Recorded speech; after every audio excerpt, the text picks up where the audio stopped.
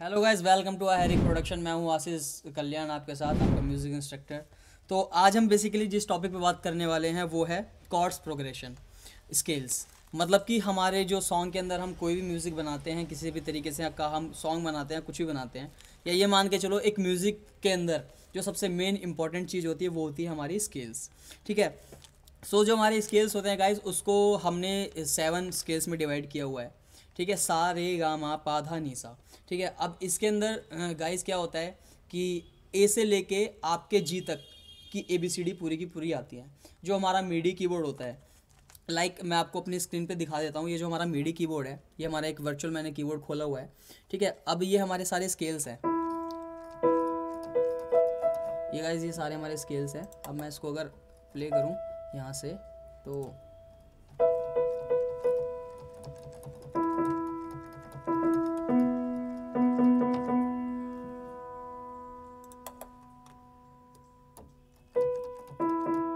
सो ये जो आप कीज़ देख रहे हैं, ये सारी की सारी कीज़ हमारा बेसिकली हमारा जो मीडी कीबोर्ड होता है और हमारी जो थ्योरी होती है, वो भी हमारी स्टार्ट यहीं से होती है।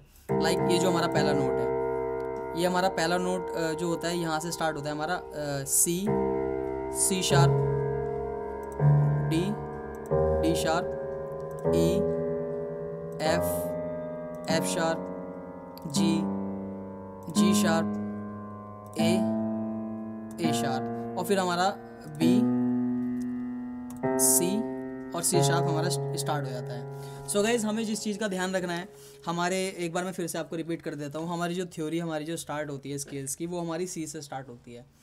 वैसे तो हम ए से रखते हैं बट हमारा जो पैटर्न है, हमारा जो कीबोर्ड गिटार या किसी भी चीज़ में जो हमारा पैटर्न चलता है, वो हमारा सी से स्टार्ट होता है।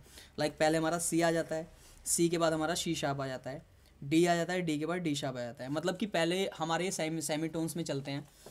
अगर मैं सी के बाद आपको ये जो शार्प आता है, इसको करूँ तो ये सेमीटोन होता है, हमारा हाफ़ सेमीटोन ठीक है? ये हमारा हाफ़ नोट होता है मतलब कि सेमीटोन फुल टोन होता है सी से लेके डी लाइक अगर हम करें C D E F G A B ये हमारा फुल नोट होता है, ठीक है? अगर हम करें C C sharp D D sharp E F F sharp G G sharp ये हमारा हाफ़ नोट होता है। तो हमारे जो कॉर्ड्स चलते हैं वो सेमीटोन्स और फुल नोट में चलते हैं। ठीक है, हमारे कॉर्ड दो तरीके के होते हैं गाने के अंदर। जो हमारा बेसिकली जो हमारा गाना बनता है, वो हमारा एक मेज़र और एक माइनर इन्हीं दो कॉर्ड पे बनता है।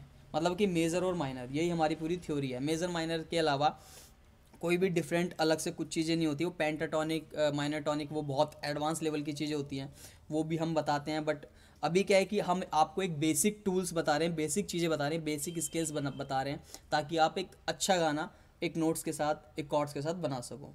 ठीक है गाइज़ बाकी गाइज़ अगर आपको बहुत डीप चीज़ें सीखनी है, बहुत ज़्यादा डीप कॉर्ड्स के बारे में सीखना है थ्योरी सीखनी है म्यूज़िक की तो हमारा जो प्रोडक्शन है हम क्लासेस प्रोवाइड कराते हैं हम पूरी प्रोडक्शन की क्लासेस देते हैं।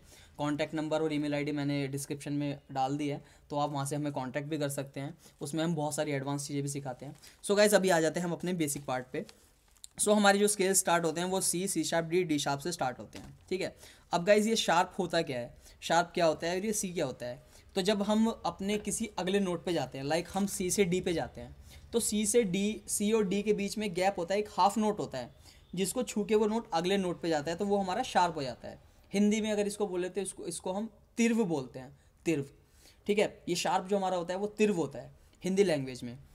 ठीक है गाइज़ अब हम इसको इसको स्टार्ट करते हैं तो हमारा ये दो चीज़ों में डिवाइडेड होता है, एक मेज़र और एक माइनर ठीक है? अब आ जाते हैं गाइज़ हम मेज़र पे। तो लाइक अगर मैं बात करूँ, और हाँ सबसे इम्पोर्टेंट चीज़, हमारा जो कॉर्ड्स थ्योरी में, जो स्केल थ्योरी में होता है, सबका हमारा शार्प होता है बट जो हमारा बी और ई e नोट है एक बी नोट और एक ई e नोट इन दोनों का कभी शार्प होता नहीं है। क्योंकि अगर हम आपके गिटार में भी आ जाए, अगर आपके कीबोर्ड में भी आ जाए तो कीबोर्ड में हमारे जो नोट्स होते हैं लाइक मैं आपको दिखा देता हूँ, ये हमारे नोट्स हैं, ठीक है? अब मैं यहाँ से स्टार्ट कर रहा हूँ। मैं यहाँ से स्टार्ट कर रहा हूँ। ये हमारा सी है, ठीक है? अब ये हमारा जो ब्लैक नोट है, ये हमारा शार्प है सी शार्प मतलब सी हुआ सी के बाद सी शार्प हुआ, ठीक है? इसके बाद आ जाता है डी फिर डी के बाद आता है डी शार्प ठीक है गाइस अब गाइस ध्यान से देखना ये जो हमारा ई e नोट है ई e, ई e के बाद हमारी कोई ब्लैक की नहीं है। मतलब कि वो थ्योरी में भी नहीं है और वो जो प्रैक्टिकली जो इंस्ट्रूमेंट्स बने हुए हैं उसमें भी नहीं है। वो होता ही नहीं है। मतलब ई का कोई शार्प होता ही नहीं है। तो ई के बाद हमारा कोई शार्प नहीं है। ठीक है? ई के बाद हम डायरेक्ट आएँगे एफ़ पे। मतलब ई के बाद हमारा सीधा फुल नोट आता है एफ़ एफ़ के बाद हमारा आएगा F sharp G G sharp A A sharp फिर आता है बी अब देखिएगा, ध्यान से देखना बी के बाद भी हमारा कोई ब्लैक की नहीं है। ठीक है तो हमारा शार्प है ही नहीं। तो बी के बाद हमारा फिर सीधा आ जाता है ए फिर वो हमारा फिर रिपीटेशन पे चल जाता है। सो so गाइस जब से, सबसे मेन चीज़ होती है, अभी मान लो ये मेरा, अब ऑक्टेव क्या होता है? ठीक है, अब सबसे पहले हम ऑक्टेव पे आते हैं। लाइक like हमारा गाना चला C C sharp D D sharp E F F sharp G G sharp A A sharp B B के बाद हमारा फिर से जो हमारा रिपीटेशन पे चलता है, वो सी आ जाता है वापस से। बट फ़र्क क्या है? कि वो हमारा जो ऑक्टेव है ऑक्टेव वो चेंज हो गया। मतलब कि जो हमारा पहला सी है ये सा, सा हमारा चल रहा है सा। अब अगर हम इसके सीधा अगले ऑक्टेव पे जाएँ तो ये हमारा सा अप हो गया ठीक है?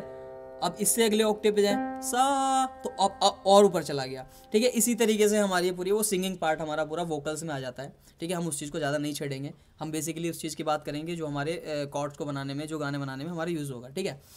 सो गाइज़ ये हमारा पूरा नोट्स मैंने बता दिया आपको। ये हमारे C C sharp D D sharp E F इस तरीके से नोट्स होते हैं सेमीटोन्स में।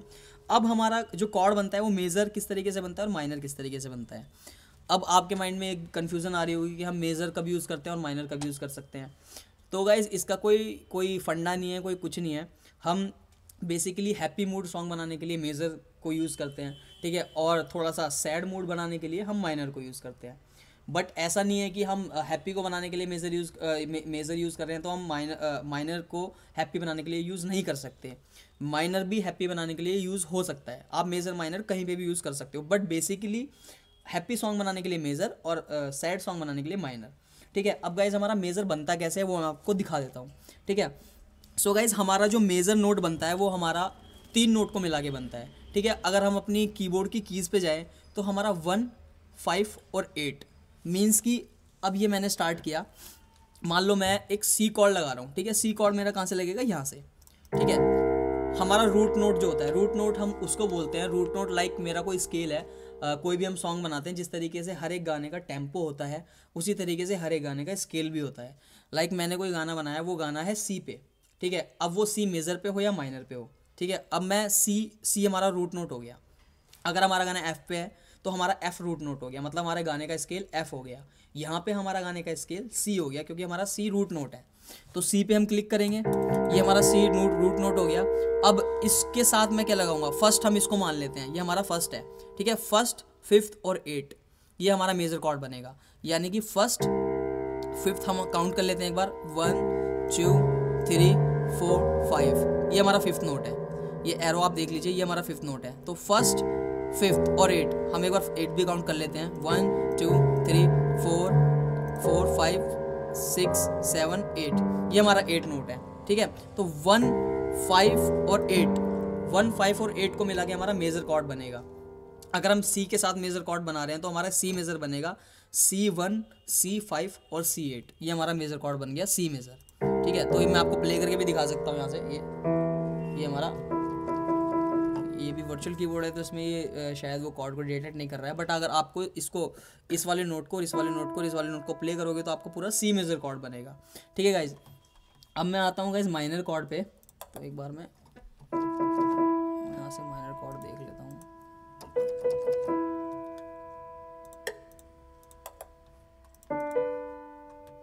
C major so guys minor हमारा जो कॉर्ड बनता है, वो हमारा बनता है, मैंने भी आपको बताया मेजर के लिए वन फाइव एट और माइनर के लिए हमारा होता है वन फोर और एट लाइक कि आपने अगर कोई माइनर कॉर्ड बनाया है तो उसमें आपका वन टू थ्री फोर ये फोर नोट मतलब फोर नोट आपका लगेगा। आप मेजर में ये लगा देते, अब आपका फोर्थ नोट लगेगा यहाँ, और बाकी एट हमारा सेम तो ये हमारा माइनर बन जाएगा। मतलब ये हमारा सी माइनर हो जाएगा, ठीक है? अब लाइक आपको कुछ भी नहीं करना मेजर में वन फाइव एट और माइनर में वन फोर एट मतलब माइनर में आपका एक नोट हाफ़ नोट पीछे आ जाएगा। तो ये हमारा मेजर माइनर का फंडा है। बाकी गाइज़ ये एक बेसिक सी एक थ्योरी है। एक बेसिक सी एक थ्योरी है। ज़्यादा एडवांस सीखने के लिए अगर आपको सीखना है, ज़्यादा एडवांस बहुत ज़्यादा एडवांस सीखना है, क्योंकि इसके अंदर भी बहुत सारी चीज़ें आ जाती हैं। तो उसके लिए आपको प्रॉपर क्लासेस लेनी पड़ेंगी प्रॉपर कोर्स लेना पड़ेगा, क्योंकि मैं ऑनलाइन सारी चीज़ें नहीं बता सकता हूँ। मैं ऑनलाइन केवल उतना बता बता सकता हूँ जितना हमारे सॉन्ग को बनाने के लिए यूज़ होगा। ठीक है, बाकी हम और भी चीज़ों की क्लासेस वगैरह प्रोवाइड करते हैं करते हैं तो आप क्लासेस ले सकते हैं और सारी चीज़ों के लिए। क्योंकि मेजर माइनर के अंदर ये भी आता है कि आप मेजर के अंदर कौन कौन से कॉर्ड्स को लगा सकते हैं। मैंने आपको सिंपल एक ये फंडा बताया कि आपको नोट अगर कोई नोट्स यूज़ करना है तो उस नोट्स के साथ आप कौन कौन से नोट्स यूज़ कर सकते हो एक गाना बनाने के लिए। ठीक है गाइज़ तो ये हमारी एक बेसिक सी एक थ्योरी है।